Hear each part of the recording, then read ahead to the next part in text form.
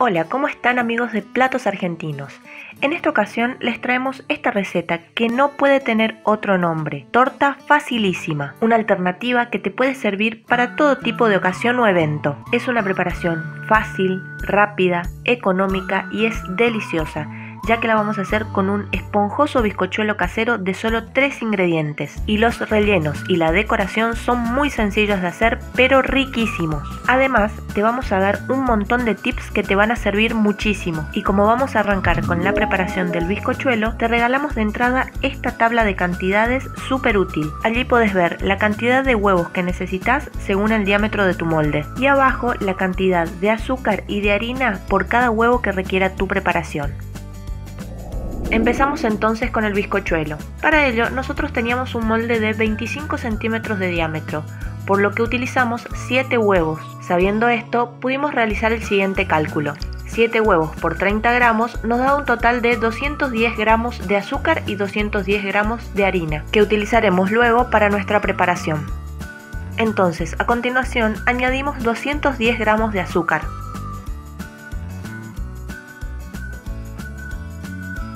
y una cucharadita de esencia de vainilla.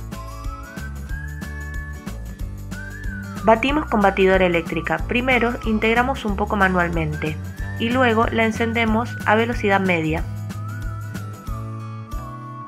Ahora vamos con el tip número 1. Estos huevos deben batirse muy bien. Es la base para que un bizcochuelo te salga alto y esponjoso. Con el batido estamos incorporando mucho aire a la preparación. Se debe hacerlo hasta que la misma duplique su tamaño y llegue hasta el punto letra. Paramos la batidora y con la mezcla que quedó en las varillas podemos hacer letras o garabatos que quedan marcados en la superficie. Así debe quedar esta preparación. Y luego tenemos los 210 gramos de harina que puede estar tamizada previamente, como en este caso, o pueden ir tamizándola encima de la preparación. Pero eso sí, se tiene que ir agregando de a poco. Y ahora vamos con el tip número 2. Con una espátula vamos a ir integrando todo con movimientos envolventes. Así, desde los bordes hacia el centro, para evitar que se formen grumos. Si te gustan nuestras recetas, puedes suscribirte a nuestro canal. Solo tenés que apretar el botón rojo de abajo y darle clic a la campanita. Así estás al tanto de todas las novedades. Y siguiendo con los movimientos envolventes, vamos con el tip número 3. Al terminar de incorporar toda la harina, debemos verificar en el centro de la preparación que no quede harina sin haberse integrado.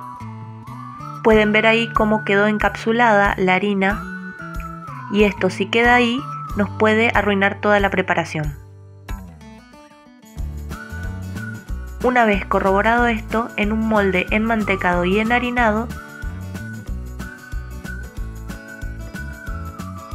y con la ayuda de una espátula, volcamos todo.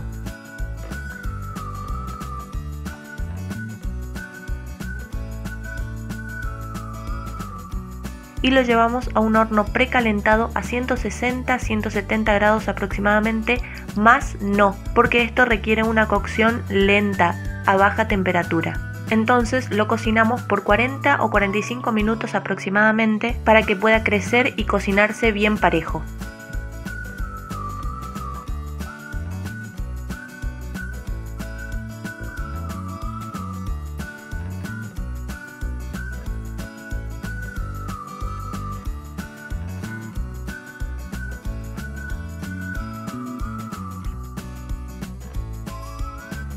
Y atención, otra cosa a tener en cuenta, no abran la puerta del horno. Tengan mucha paciencia ya que eso es fundamental para que se cocine bien. Dicho esto, pasamos con el tip número 4. Una vez pasado el tiempo de cocción, los 40 o 45 minutos, y ustedes creen que ya está listo, para corroborarlo, pinchen con un palito o con un cuchillo seco, pero sin sacarlo del horno y si ustedes ven que el palito o el cuchillo sale seco, quiere decir que ya está listo. Entonces apaguen el horno y dejen que el bizcochuelo se enfríe allí adentro, ya que si lo sacamos el cambio de temperatura brusco puede hacer que baje de golpe. Una vez frío lo cortamos en tres capas iguales, así desde los bordes hacia el centro.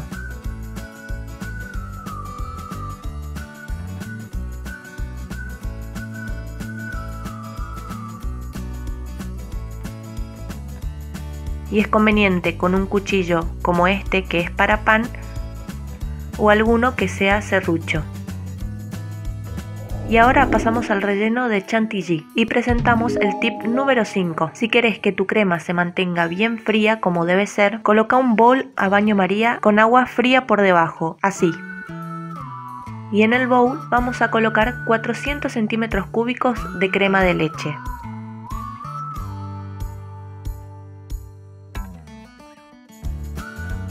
Batimos con batidora eléctrica por unos segundos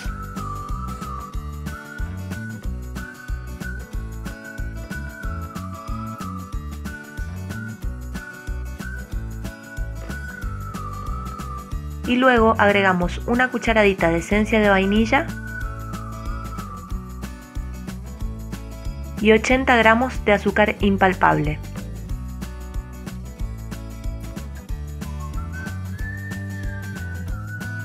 Primero integramos un poco manualmente.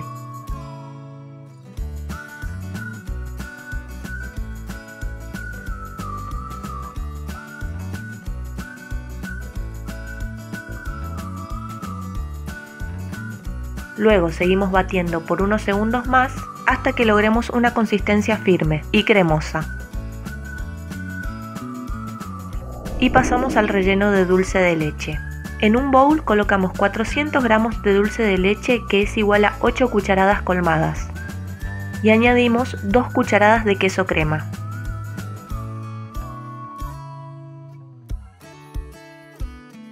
Mezclamos hasta que ambos se integren muy bien.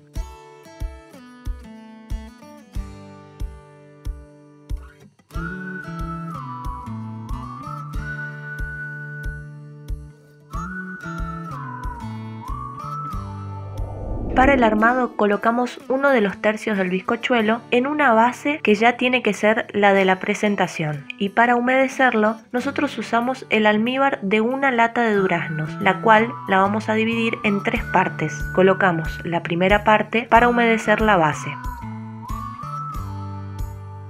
y para darle un toque de sabor nosotros le colocamos licor de café y chocolate, un poco rebajado con agua para que no se sienta muy fuerte el alcohol. Colocamos el relleno de dulce de leche.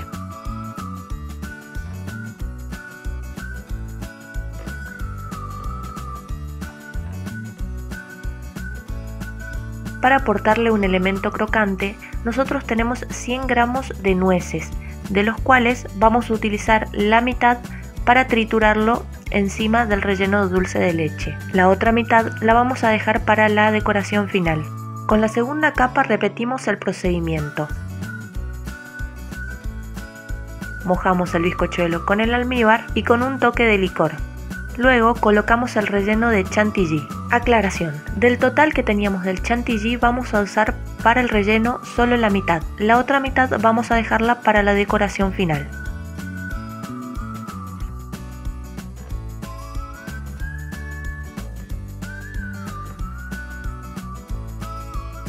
Y por encima colocamos 5 mitades de durazno que cortamos en finas tajadas.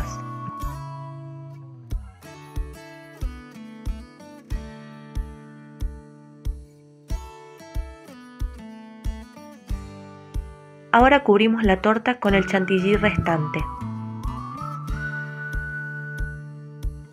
Una vez cubierta, pegamos merenguitos triturados alrededor de la misma.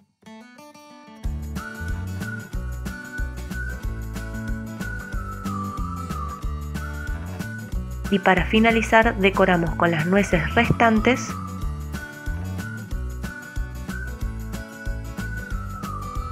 y con 50 gramos de chips de chocolate que vamos a distribuir sobre toda la superficie. Aclaramos que todos los ingredientes que nosotros usamos para armar la torta son los que teníamos a mano. Ustedes pueden utilizar lo que tengan en su casa, ya sea otros frutos secos, otras frutas, galletitas, confites, la pueden armar a su gusto. Esperamos que les haya gustado. Ahora repasamos los ingredientes.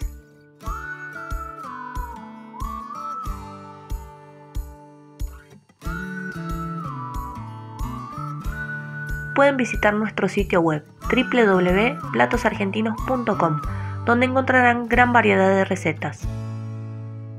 Esto fue todo por hoy, nos vemos en un próximo video. Somos Platos Argentinos, muchas gracias.